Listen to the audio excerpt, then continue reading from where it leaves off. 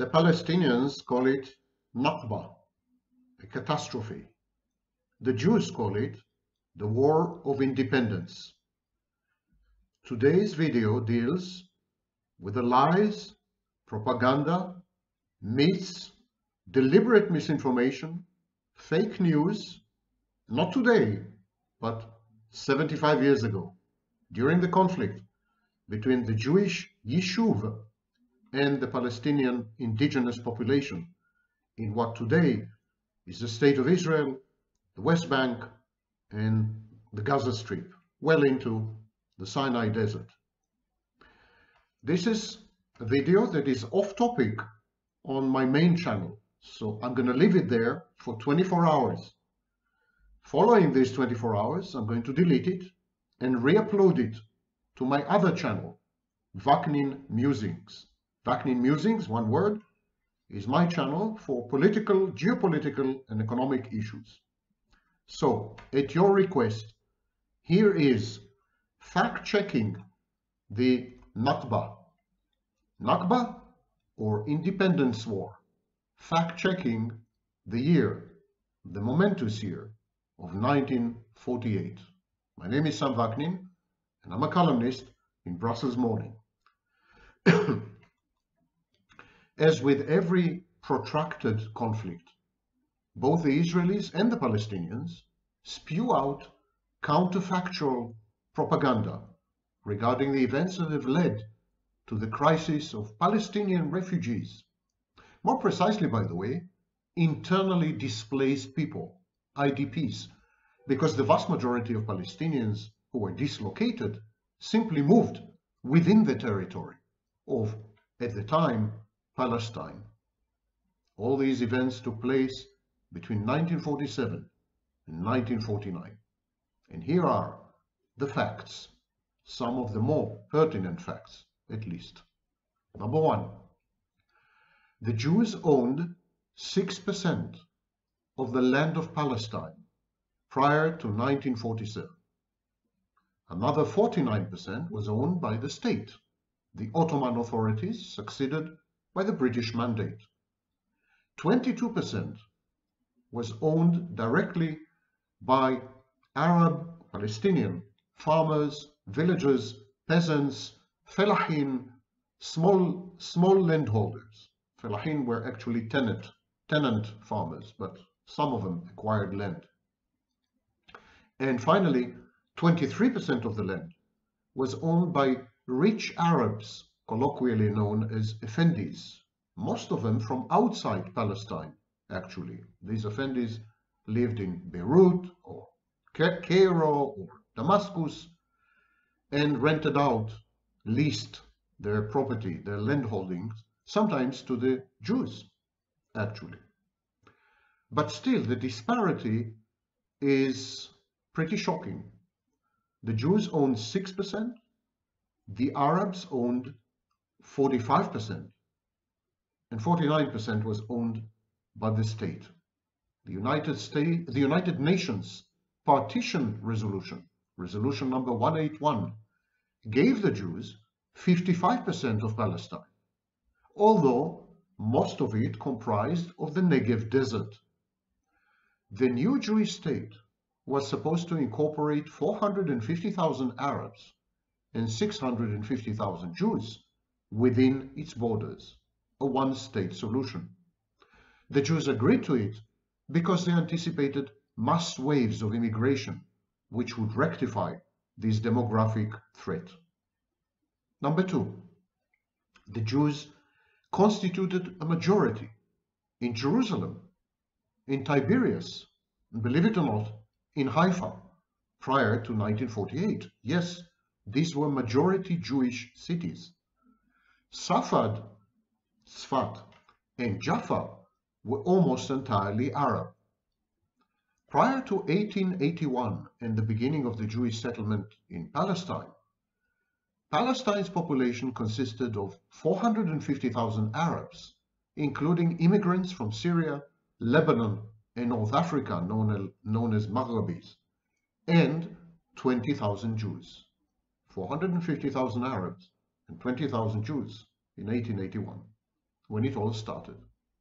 Number three, the idea of displacement or transfer, ethnic cleansing of the indigenous Arab population to Transjordan or to some other Arab countries, this idea was never uh, an official policy of the Jewish Yishuv. It was never a part of any overall military strategy. But ethnic cleansing, transfer, was widely thought by the Zionists to be a desirable, non-coercive and just solution to the inter-ethnic conflict, a conflict that has been taking place since 1882. Similar transfers have taken place all over the world, especially in the wake of the Second World War, and they resulted in amicable relations, for example, between Greece, Bulgaria, and Turkey, as well as Czechoslovakia and post-Nazi Germany. Number four, the Jews have accepted the United Nations Partition Resolution. The Arabs, including volunteers from abroad, have rejected it, and they are the ones who embarked on hostilities against the Jewish settlements and supply convoys. Later on, regular Arab armies from several countries invaded the territory of Palestine that should have become the Jewish state according to the partition resolution. So there's no debate as to who started the war. Number five, between November 1947 and April 1948, about, uh, I'm sorry, between November 1947 and April 1949, about 400 to 700,000 Palestinian Arabs, no one knows the exact number, some scholars say 600,000, some scholars minimize and say 400 to 500,000, and some scholars exceed this number, especially Arab scholars, and they believe the number has been closer to 700,000. These Arabs, Palestinian Arabs, left their homes and became internally displaced within the territory of Palestine. Only a small fraction of these Arabs returned to their abandoned ruined and looted villages. In 1950, the State of Israel ended up having 150,000 Arab citizens to 700,000 Jews. A sizable minority of the upper middle class and the affluent Arab, Palestinian Arabs, emigrated to Egypt, Lebanon, Syria, and Transjordan. Number six, most of these refugees about 80% of them were not expelled by force, though Plan D of the Haganah, the Haganah was the, the antecedent of the IDF, the Israeli Defense Force. The Haganah was the main military body of the Yishuv and later on became the Israeli Defense Force. So the Haganah had something called Plan D. And the Haganah's Plan D called for the expulsion of Arabs from villages abetting important traffic arteries, uh, the new state's borders, and major Jewish majority cities. In some locales, such as Haifa, the nascent Jewish authorities actually tried to halt the Arabs from, from fleeing. Many other villages, though, were forcibly evacuated the local initiative of Haganah commanders IZL and Lehi commanders in the field. So it's a mixed picture. Only 20% of Palestinian Arabs have been forcibly expelled at the point of a gun. That much is true. But it is equally true that the Haganah, later Israeli Defense Force, had a plan in place, Plan D, calling for the expulsion and evacuation of Arab farmers villagers, tenants, and peasants in specific, in highly specific locations next to traffic um, arteries of the borders, next to major Israeli uh, Jewish cities. Number seven, the exodus of Palestinian Arabs was mostly voluntary. As we said, 80% of them left of their own will. What was the motivation? Why would, why would someone so close to the soil, someone whose life depends on his piece of land. Why would he abandon that and his home and all his property? Why would he leave all these behind? Voluntarily, not by force, not by coercion, not at the point of a gun. Why did so many of them, about half a million, why did they go this route? There are several reasons. A. Rumors of egregious atrocities, murders, massacres, and rapes committed by mostly by extremist Jewish paramilitary organizations such as Etzel, IZL, and Lehi, LHI. For example, in the friendly and peaceful hamlet of Deir, Deir Yassin. There was persistent looting by all, all the various Jewish military formations, Haganah included. So these were not false rumors, these were not fake news. These cases really happened, and quite a few of them actually. And the Arab, the Palestinian Arabs who were exposed to information about these atrocities, they got terrified and they fled. Reason number two, in order of importance, by the way. Reason number two, the influx of marauding Arab fighters, mainly from Iraq. These volunteers resorted to blackmailing the peasants, looting and summarily dispensing with their opponents, killing them, assassinating, taking over abandoned property with alacrity and glee. So many of these volunteers drove away the Arab population in order to enrich themselves and in order to establish military positions in the abandoned houses. Reason number three, recurrent calls by Arab leaders, local and foreign, to evacuate children, women, and the elderly from the battle zones. But I must emphasize, there were very rare, very rare instructions and guidance to evacuate able-bodied men capable of fighting.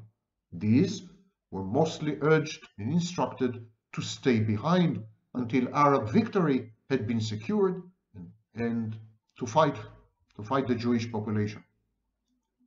So it is true that Arab leaders called for the evacuation of Arab settlements and Arab villages and even Arab towns. All this is true, but it is not true that they called for a mass exodus of all Arabs. They were discriminating. The Arab leaders called on men, especially young men, to stay behind and fight. Reason number four, the withdrawal of the British administration in May 1948 from the territory of the Mandate has meant that many of the remaining Arabs would have needed to accede to Jewish rule, or possibly even worse, the domination of the clique of the Mufti Husseini. Husseini was at the time staying in Egypt having supported the Nazis during World War II, and he was known to be murderous. The Husseini clan have assassinated numerous Arab leaders who have opposed his rule. In 1936, 1939, Husseini and his extended family have established a rule of terror all over Palestine, and people still remembered it so there was a lot of fear. The Arab leaders initially considered the refugees a propaganda asset. They thought they can leverage the refugees to change public opinion and to exert pressure on Israel, on the state of Israel that was emerging, or on the Jewish Yishuv. But even the Arab leaders were taken aback and overwhelmed, terrified by the sight of the mass exodus from the territory of Palestine. The Jews were at first shocked beyond belief. They didn't know what to do. Some of them tried to stop the refugees from going away. Some of them encouraged the refugees. There was confusion in the Jewish camp as well because no one has anticipated the uh, Arabs, the Palestinian Arab exodus and the Arabs fleeing in such massive numbers. An example in case is Haifa. But when the Jews began to realize the magnitude and ubiquity of the Arab flight, they understood that it's a historical chance to establish an ethnically pure state, a Jewish state, with a very minimal Arab minority. And henceforth, they either um, took a hands-off approach and let the Arabs depart, or they encouraged the Arabs in a variety of ways by spreading rumors and gossip. And as I said, in accordance with Plan D, about 20% of the Arab population were expelled forcibly. And so I think the reigning, the reigning sentiment of the era was not premeditated malice, some long range or long term vision, some prepared and premeditated and promulgated ethnic cleansing campaign, but improvisation, confusion, uh, incoherence on both sides, the Jews and the Arabs, when it came to the emerging Arab refugee crisis. Point number eight. Once Arab tenants and farmers have left, the State of Israel and the Israeli Defense Force never allowed these people to return and reclaim their property. If any of them did infiltrate back, they were expelled at the point of a gun. Number nine, the Arab states were very reluctant to accommodate the influx of Palestinian refugees. They committed only insignificant forces to the invasion of Palestine in May 1948. They were very half-hearted about the situation, similar to what's happening today. The militias, the local villagers called them foreigners, were riffraff, badly trained, and no match for the Jewish forces, 28,000 of which served in the British Army during World War II. Arab society was fragmented and institutionally dysfunctional, with an abyss between town and country, rich and poor, landowners and impoverished tenants, Christians and Muslims, the educated, the illiterate, the pro-Husseinis and their enemies. The Arab society was totally torn apart.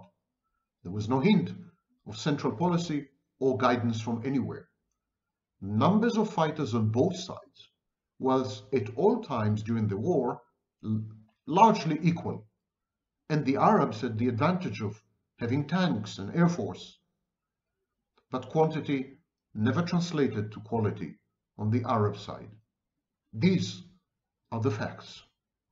And if I succeed to infuriate both parties to the conflict, it means I've done a good job and have remained as objective and neutral as I could be. Thank you for listening.